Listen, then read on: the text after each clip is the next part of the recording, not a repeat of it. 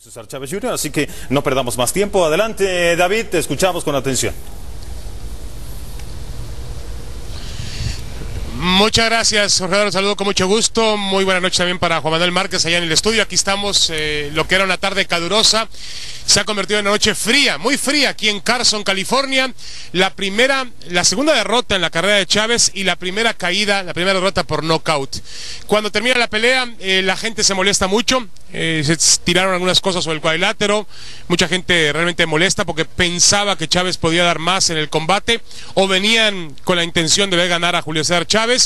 Y después en el vestidor tuve oportunidad de testiguar dos detalles para comentarlos. Uno, Chávez Jr. platicando con Al Heyman, el representante, el, nuevo promotor, donde prácticamente le ofrecía eh, una disculpa por la actuación que tuvo hoy y le decía que no podía pelear en ese peso, que no tenía la suficiente fortaleza en los puños para poder eh, disparar golpes y poder eh, sentirse cómodo en esa, en esa división. Y Heyman lo entendió, le dijo que esto es el deporte, le dijo que se tranquilizara y en ese momento llamó a Chávez Papá, al Heyman, y le preguntó a Chávez Papá directamente qué fue lo que pasó, qué es lo que recomienda usted, señor.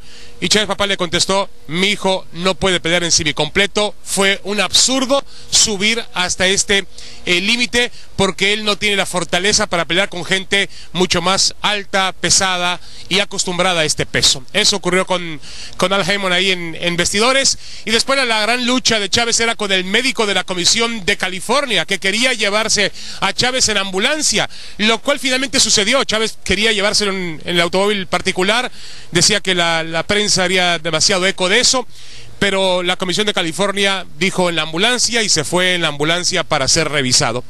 Hoy eh, Jorge Eduardo queda claro, y lo advertía Juan Manuel Márquez un poquito más temprano, es, era un riesgo, tomó un riesgo y al final el riesgo no le salió. Hoy Chávez perdió lo último que tenía, la mandíbula, porque la mandíbula había evitado, su poderosa mandíbula había evitado, eh, sin duda alguna, que en otros combates fuese a la lona.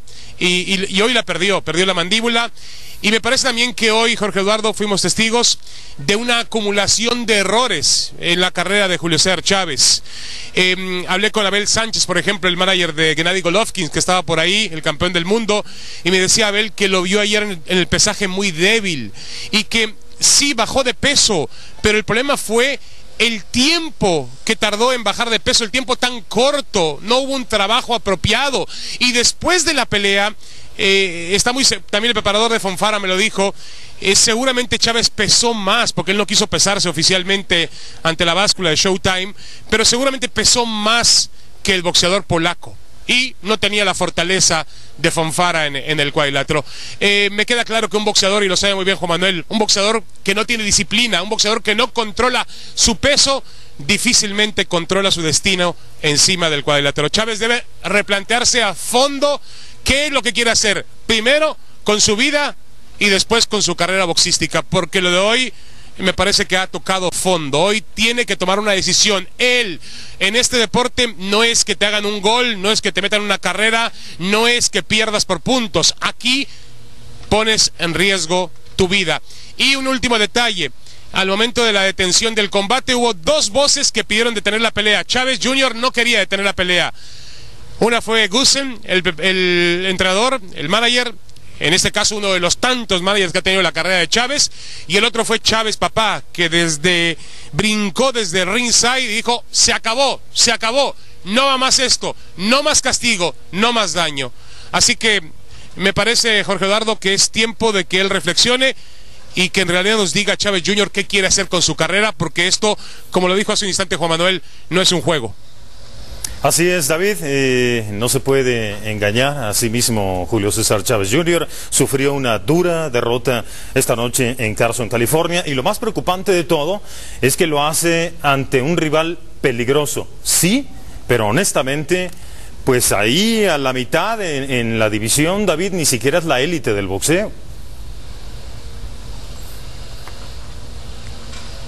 Sí, de acuerdo contigo, de acuerdo contigo. Yo no sé, finalmente eh, hay muchas cosas anómalas, raras en la carrera de Chávez Jr. Y, mucha gente sabe muy bien en el boxeo que las peleas se ganan abajo del ring, no se ganan encima del ring. Y ahí está el problema. Sigue existiendo desorden, sigue existiendo anarquía. Eh, no puede ser que él tenga su campo de entrenamiento, por favor, su gimnasio en su casa. Él es el que decide a qué hora se entrena, a qué hora se corre, a qué hora se come. No hay ni un manager que le diga, Julio, hoy se hace esto, Julio, mañana se hace aquello, tienes que disciplinarte, tienes que trabajar. Él no lo quiere así. El papá le pedía eso, le decía, mira hijo, tienes que ser un boxeador de tiempo completo. ¿Qué hizo? Apartó al papá de la esquina. Y han tenido muchos managers. ¿Qué pasó con Freddy Roach? Freddy Roach dijo, yo no voy más con él. Yo me acuerdo de aquella escena con Freddy Roach con el reloj en la mano esperándolo a que llegara a entrenar y no llegaba a entrenar.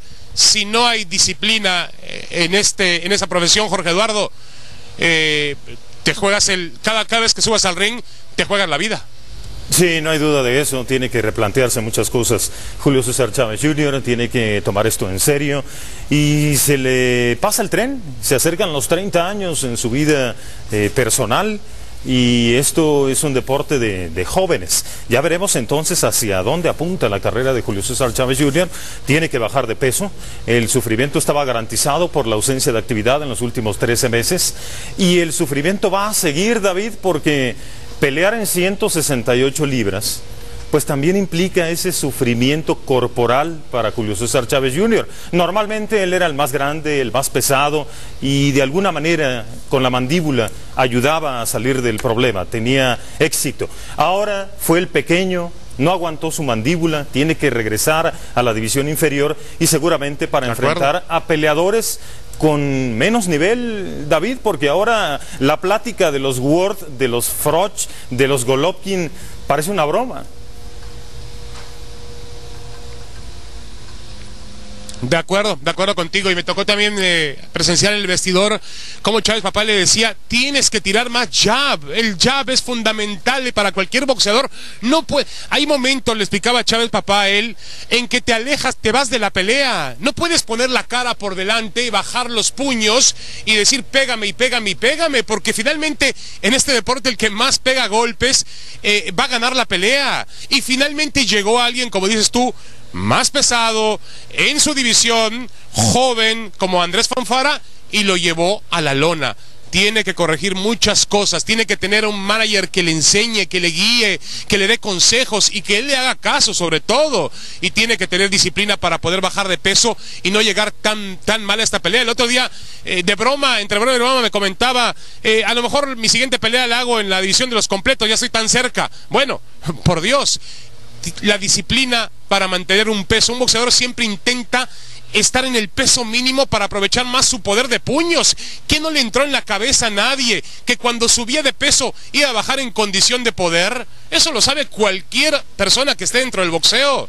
Y parece que Chávez lo ignoró. Lamentable, muy lamentable lo que pasó con su carrera. Y me parece que, insisto, tendrá que sentarse a, a, charlar con la almohada, tiene una niña muy bonita, Julia, tiene dinero, tiene una esposa que lo quiere, que es Frida, tiene a su familia, a su mamá, a su papá, tiene que replantearse las cosas, porque eh, esto del boxeo, insisto, la frase de la noche la dio Juan Manuel Márquez, esto no es un juego. David, eh, muchas gracias, buenas noches y nos encontramos pronto. Saludos, saludos Jorge Eduardo, un abrazo Juan Manuel para allá. Claro que sí, ahí está David Feitelson, nuestro compañero, con el reporte desde Carson, California, y muy cerquita de Julio César Chávez Jr., que vive este drama este sábado por la noche, luego de caer ante Andrei Fonfara. ¿Qué debe hacer el Junior?